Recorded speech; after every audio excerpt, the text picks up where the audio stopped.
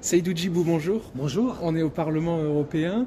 On s'est rencontrés il y a deux ans euh, pour une interview sur la persécution des ex-musulmans qui deviennent chrétiens, leurs difficultés, ce qu'ils endurent, ce qu'ils vivent en France, en Belgique. Est-ce que vous pourriez dire euh, pour nos auditeurs pour qui vous travaillez, ce que vous faites en fait alors écoutez, moi tout d'abord, je, travaille pour quelqu'un d'extraordinaire, de, magnifique, qui, vraiment en tout cas m'impressionne et puis euh, m'énergise, me donne vraiment la pêche tous les matins. C'est Mon plus grand patron, c'est le Christ. C'est celui que nous avons découvert, nous l'avons rencontré. C'est une expérience formidable, extraordinaire que les musulmans font. Et c'est pour lui que je travaille, c'est pour lui que je vis aujourd'hui et vous dire qu'effectivement, ces deux dernières années, elles ont été intenses, non seulement à cause de la pandémie, et durant cette pandémie, je n'ai jamais, jamais eu autant de musulmans qui m'ont contacté, parce qu'un musulman qui est confiné, il s'ennuie et il cherche. Et il google. Et quand il google, il tombe sur qui? Saïdou Jibou. Et ils m'ont contacté durant cette période de pandémie, cette période de calamité a été une période d'opportunité pour leur faire découvrir qui est le Christ et la foi en Jésus. Et je me souviens de ce Palestinien qui tape sur Google comment se faire baptiser et il me rencontre moi directement. Moi je l'ai invité, j'ai pris mes précautions dans Paris. Nous étions à quelques mètres de distance je l'ai observé. Après je l'ai amené avec moi dans la voiture et l'ayant pris après dans la voiture, je l'ai conduit dans une église et dans cette église africaine, c'est la première fois qu'il rentrait il s'est mis à taper dans les mains, à, être dans l'ambiance de cette église-là. Et à la fin, il a fait une prière. Une prière, c'était laquelle? Il était réfugié, il avait besoin d'un appartement. Je vais vous raconter une histoire un petit peu invraisemblable. Et il crie à Dieu, mon Dieu, j'aimerais tellement avoir un appartement pour ma famille. Donc il prie un Dieu qu'il ne connaît pas, un Dieu qui pour lui était inaccessible, inatteignable, impénétrable. Mais il a prié le Christ. La semaine qui suit, il me téléphone, il me dit Pasteur, pasteur, c'est incroyable, la prière marche. Je viens d'avoir 100 mètres carrés. Et il me dit Où? Je suis tombé par terre dans le 16e arrondissement. Je dis, mais toi, c'était un miracle vivant. Nous, ça fait 30 ans, 40 ans qu'on est à Paris, on n'a pas réussi à avoir un tel appartement. C'est simplement pour vous dire une petite chose simple.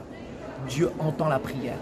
Quand un malheureux crie, l'Éternel entend et il le délivre de toutes ses détresses. Et ce Palestinien vient d'une grande, très très grande famille bourgeoise en Palestine et il a été baptisé dernièrement. Et je peux vous dire qu'il y a aujourd'hui des centaines et des centaines, ce pas des milliers, ce sont des centaines aujourd'hui de musulmans qui font l'expérience du Christ. Bien sûr qu'il ne l'a pas dit à sa femme. Pourquoi? Parce que c'est quand même difficile pour lui. Il a peur vraiment de la, de, de, de, la pression, de l'entourage, de la, de la famille, de l'environnement.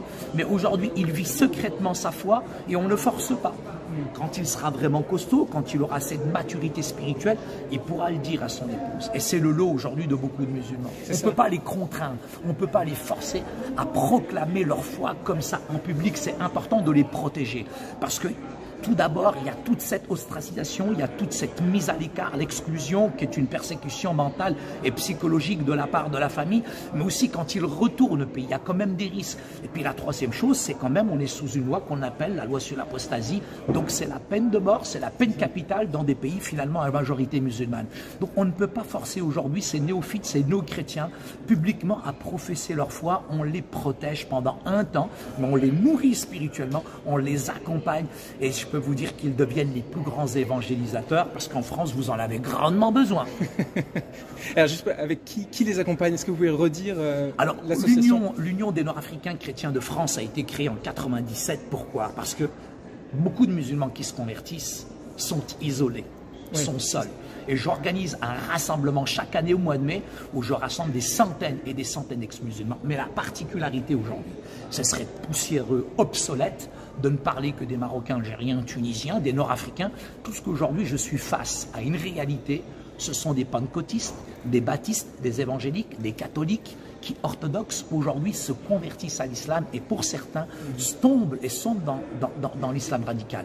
Maintenant, le terme conversion, je suis obligé de l'adopter, sauf que on ne se convertit pas à l'islam, on adhère à une idéologie, on est violé mentalement, psychologiquement, on oublie notre conscience et pour certains ils sombrent complètement dans la folie. Non, là, ce sont des gens qui adhèrent, je dirais, à une religion parce qu'on se convertit qu'à Christ, c'est un changement, c'est une transformation. Donc aujourd'hui, effectivement, j'ai beaucoup de Français antillais, africains, qui aujourd'hui, malheureusement, sombrent, je dirais, dans une idéologie politique. Et ceux-là, il y a tout un travail, je dirais, des deux. Il faut déprogrammer pour reprogrammer ces personnes aujourd'hui, parce que certains se, se, radicalisent. Après, quand on parle de déradicalisation, de radicalisation, je pense que c'est un, juste une, escroquerie intellectuelle inventée par l'État pour ne pas parler finalement de, de, de, de, de fondamentalisme. Dire, on, vit dans un pays normalement en principe libéral. Donc, euh, le, je reviens juste en deux questions sur euh, ce qu'on a fait et la question par rapport aux, aux musulmans. Euh, donc, le CLJ a fait ce rapport grâce à vous sur les difficultés que vivent les musulmans en France oui. qui se tournent vers la religion chrétienne. Oui. Il y en a beaucoup qui se posent des questions sur leur foi musulmane et ensuite il y a cette difficulté en fait de vraiment se convertir parce qu'il y a une pression euh, familiale, communautaire euh, en France, dans les, dans les banlieues principalement. Euh, juste pour revenir là-dessus, sur les deux dernières années, est-ce que vous diriez que les choses ont un peu changé? Est-ce qu'elles ont évolué encore plus dans le mauvais sens? Est-ce que c'est encore plus dur euh, aujourd'hui qu'il y a deux ans ou cinq ans de, de se convertir quand on vient de l'islam? Est-ce que c'est pareil? Est-ce qu'il y a des choses qui ont, qui ont changé, vous diriez? Alors, tout d'abord, je vais juste reprendre quelque chose de très important quand on parle de... Effectivement, il y a une persécution, mais avant tout, elle est théologique. Oui. Ce n'est pas une question d'interprétation, c'est une question de degré. Et plus on s'approche du texte coranique, plus on verra la réalité finalement de toutes ceux et celles qui aujourd'hui euh, quittent, je dirais, la maison de l'islam vers l'athéisme ou vers toute autre religion et se retrouvent en porte-à-faux avec la Oumma. Donc ça, c'est théologique, ce n'est pas une question d'interprétation, les textes coraniques sont clairs là-dessus. Maintenant, effectivement, euh, sur cette question-là, euh, il y a une telle pression aujourd'hui de l'environnement, de la famille, qui amène ces personnes à se protéger, à passer finalement sous silence même leur vie. Et pour certains, ils s'isolent volontairement et ils se cachent aujourd'hui dans la société. Pour certains, très honnêtement, ils ont été persécutés en Afrique du Nord. Certains ont été persécutés au Moyen-Orient. Ils arrivent ici, ils se retrouvent vraiment en décalage avec la réalité, c'est qu'ils sont encore persécutés ici. Et j'ai un ami que je peux nommer, il s'appelle Joseph, il est irakien. Lui a quitté la persécution en Irak, il se retrouve en France et il est encore menacé de mort en France. On marche sur la tête. C'est invraisemblable. Et aujourd'hui, on, on, on, est comme, je dirais, pressurisé, je dirais, d'un côté et de l'autre. Et là, aujourd'hui, moi, je, renvoie vraiment la question à nos politiques en France. Est-ce que vraiment la France est une terre de liberté? Est-ce que vraiment il y a la liberté de conscience? Est-ce que vraiment il y a cette liberté qu'on qu'on qu qu recherche véritablement et tout ce qu'on a fui, je dirais, dans ces pays à majorité musulmane. Donc c'est une grosse question, cette question des libertés de conscience, liberté d'expression, liberté aussi, je veux dire, moi je pose ce principe avec l'islam, c'est le principe de liberté. Il y a un principe, je dirais aussi, de, de, réciprocité. Ce que les musulmans réclament ici, fondamentalement, je dirais en Europe, ils ont le droit de vivre leur religion sans aucun problème. Mais pourquoi nous n'avons pas d'église en Arabie Saoudite? Pourquoi nous sommes pressurisés aujourd'hui en Algérie? Pourquoi il y a autant d'églises, je dirais, qui dérangent face à toutes ces mosquées muesinantes? Elles sont des milliers, ces quelques églises évangéliques qui finalement sont, sont déstabilisées. Donc moi je renvoie à ces questions qui sont fondamentales et je pense que c'est d'ordre théologique mais aussi politique. Et il faut que le politique aussi et le religieux, il y ait véritablement une réforme dans la maison de l'islam. Et ça c'est vraiment notre bataille, c'est vraiment notre cœur parce que moi je suis confronté chaque jour, chaque semaine à ces musulmans qui, euh, je dirais par choix et par conviction, ont quitté la maison de l'islam et aujourd'hui sont pressurisés, ostracisés, persécutés mentalement, pour certains même physiquement. Mais je crois que la pire des persécutions, c'est celle qu'on subit de la part de l'environnement, de la famille, parce qu'aujourd'hui on est dans certains quartiers paupérisés, fragilisés en France, où il y a une telle pression, je, je, je dirais, de l'islam, que ces gens-là qui travaillent aujourd'hui et qui, je dirais, vivent dans ces quartiers sont il y a une espèce de moutawa, une espèce de police religieuse qui s'est formée dans ces quartiers, oui. si bien que les enfants des deuxième, troisième, quatrième générations aujourd'hui sont hameçonnés, sont harponnés, je dirais, par ces groupuscules fondamentalistes qui regardent aussi la fragilité des familles. Et j'ai beaucoup aujourd'hui de jeunes, de jeunes je dirais, de familles évangéliques qui aujourd'hui ont été hameçonnées, harponnées et qui sont aujourd'hui dans l'islam. Alors, est-ce que vous avez juste un exemple à donner récemment Une personne, mais je parle d'abord qui vient de l'islam et qui est persécutée parce qu'elle se convertit au christianisme. Et après, on va voir dans l'autre sens? Alors, le dernier exemple. Vous, savez, pour des raisons de sécurité, je, ne peux pas nommer ces personnes. Et cette jeune fille, elle est fille d'imam. Son grand-père est imam. Vous savez, elle a une maîtrise du texte coranique, elle était entièrement voilée. Et cette fille, elle avait faim et soif de liberté mais une vraie liberté, pas celle à l'occidental, où c'est la débauche totale aujourd'hui. Je ne peux pas m'assimiler à n'importe quoi aujourd'hui. Il y, a une limite à l'assimilation. Et cette fille, en, en, googlisant tout simplement, euh, je dirais, sa recherche fondamentale, sa recherche ardente de Dieu, donc elle est tombée sur quelques vidéos. Entre autres, elle nous a suivis, elle s'est convertie. Et aujourd'hui, elle subit une telle pression, telle pression, elle l'a révélé à son père imam? Euh, en, fait, vous savez, arriver à un moment, c'est marrant. Il n'y a pas besoin de le révéler. Ça se voit sur notre tronche, ça se voit sur notre face. Il y a un changement, il y a une transformation.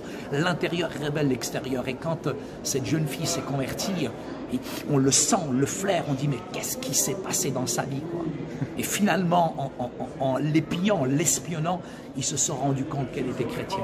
Et là, je peux vous dire que c'est la Troisième Guerre mondiale, c'est un banc d'hostilité, c'est euh, là une pression, mais, telle qui est, vraiment difficile. Donc on l'a entouré, on l'a accompagné, mais euh, aujourd'hui on est obligé de protéger en France, dans ce pays. Nous sommes obligés de protéger ces néophytes, ces néo-chrétiens qui se convertissent, malheureusement. Elle a quitté son foyer Bien sûr. Ah oui, c'est tellement invivable qu'elle est obligée de fuir, qu'elle est obligée de quitter.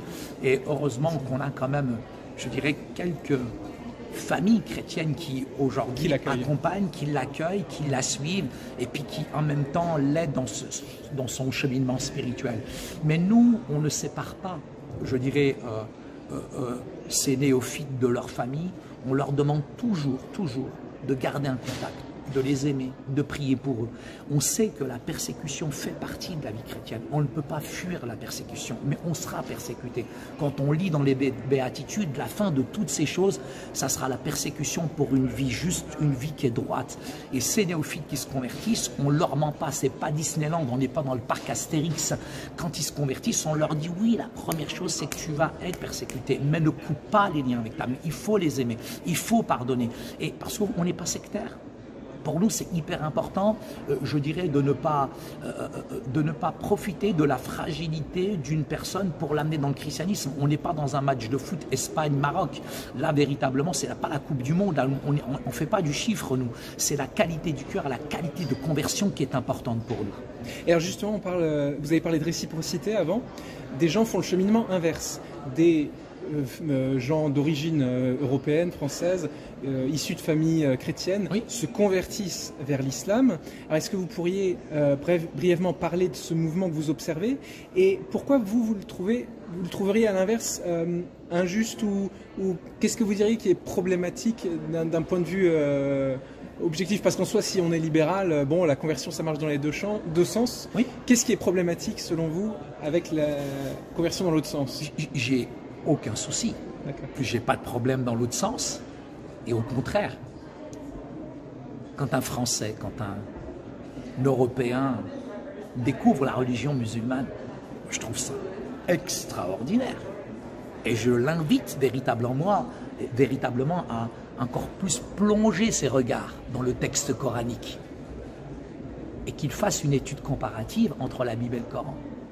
Vous savez, j'étais lors d'une conférence où le secrétaire de la Grande Mosquée de Paris a osé dire devant des centaines de personnes que Jésus, il a dit qu'il fallait prendre l'épée.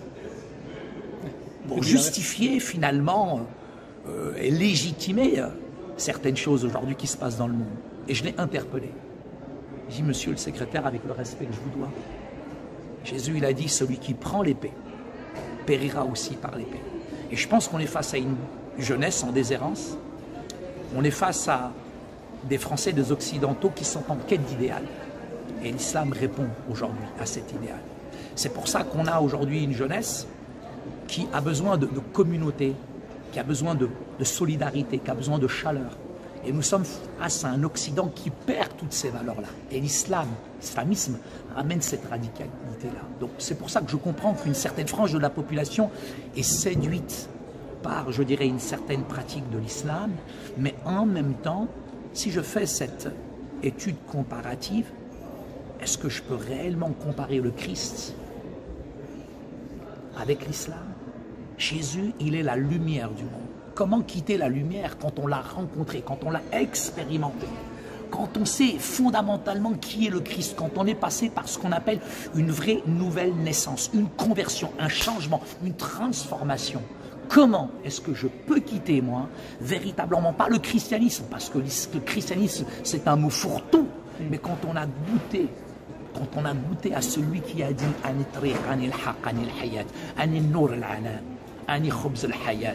celui qui a dit je suis le pain de vie celui qui a dit je suis la lumière du monde, celui qui a dit je suis le chemin, pas un des chemins, celui qui a dit je suis la vérité, pas une des vérités, celui qui dit qu'il est la vie, non seulement il nous la communique cette vie, mais dites-moi, est-ce que ces occidentaux, ces Français, ont vraiment expérimenté l'amour de Christ? Est-ce que véritablement il y a cet amour inconditionnel, cet amour agapé dans l'islam? Non. Si réellement il y avait cet amour inconditionnel dans l'islam, je serais encore musulman. Si j'avais trouvé la paix, l'amour, je dirais, dans l'islam, je serais encore aujourd'hui musulman. Non, j'ai vraiment rencontré le Christ qui a changé, transformé notre vie. Et là, là, là, quand je rencontre ces Français, ces Occidentaux qui adhèrent à l'islam, je leur dis, mais racontez-moi votre cheminement spirituel. Mais quand j'écoute le cheminement spirituel, qu'est-ce que c'est? Pour la plupart, c'est une image pour la plupart, c'est simplement des circonstances de vie. Pour certains, ils ont été simplement séduits, hameçonnés, harponnés. C'est par le biais du mariage. Il y a les conversions de proximité, il y a la conversion au soufisme et il y a la conversion aujourd'hui dans la radicalisation. Pourquoi? Parce qu'on a des jeunes qui sont détraqués, qui vont faire 4 heures d'avion pour aller taper sur les gens en face. Non, réellement, quand j'entends les cheminements spirituels, pour certains, c'est lumineux, c'est intellectuellement, c'est intéressant. Mais il n'y a pas de changement, il n'y a pas de transformation. Et je veux vous dire, pas pour vous rassurer, je ne suis pas dans une équipe de foot là, je ne suis pas dans un match vous dire que beaucoup qui, ces Français, adhèrent à l'islam, quelques temps après, ces filles qui sont voilées, qu'on met comme des porte-drapeaux aujourd'hui, finalement, elles reviennent à ce qu'elles étaient. Pourquoi? Parce que dans le cœur de l'homme, il y a un vide, Pascal nous en parle. Et ce n'est pas la religion qui peut combler ça, parce que la religion, elle blanchit la surface, l'évangile transforme l'intérieur du cœur. La religion, elle te prend, elle te laisse celle que tu es. Mais quand Jésus vient dans un cœur, il fait de nous ce qu'on doit être, des disciples de Jésus. La religion, c'est simplement de bons principes de moralité, alors que l'évangile, c'est une divine proclamation. Donc j'ai rencontré effectivement des Français qui ont adhéré à l'islam. Et au bout de quelques mois, quelques années, ils ont vraiment découvert le Christ et ça, ça a changé, transformé leur vie. Je me permets vraiment de vous dire, j'ai un grand respect pour l'islam, j'ai un grand respect pour les musulmans. Mais si vraiment, si vraiment ces Français, ces Occidentaux, qui sont peut-être déçus, et je les comprends, par la tradition, par la religion, mais je ne parle pas ici, mes amis, d'une religion, je parle d'une relation, d'une communion, d'une intimité avec Dieu, avec le Père. Dans l'islam, j'étais un abd, j'étais un esclave. Aujourd'hui, à celui qui croit, à celui qui le reçoit, il a donné pouvoir, force, capacité d'être enfant de Dieu. Je peux dire Abba en arabe, en araméen, en hébreu. Abba, c'est un père et il est venu renverser toutes les barrières sociales et religieuses et il nous invite fondamentalement à vivre comme des enfants du Père. Vous savez, ce qui me fait peur, c'est pas tellement l'islamisme, ce qui me fait peur, c'est la frilosité, la fragilité, la froideur de nos églises et de nos clochers qui sont nus aujourd'hui et qui sont vides. Et nous avons besoin tout simplement de nous approcher de Christ. Parce qu'il est vraiment la lumière du monde qui éclaire et il est le sel de cette terre dont cette France a besoin. Et j'ai véritablement besoin de dire à toutes ces personnes qui aujourd'hui peut-être sont séduites par aussi une idéologie politique que tout ça finalement mène à rien. Et Saïdou Djibou, si on veut se rapprocher de vous, comment on fait? Ah bah écoutez, tout simplement, mon téléphone, Saïdou Jibou 06 61 55 31 33, mon email, saidf2.fr. Je peux même vous donner mon adresse personnelle, il suffit de me téléphoner. Moi, je me cache pas, j'ai peur de personne que du dentiste. Merci beaucoup, Saïdou Djibou.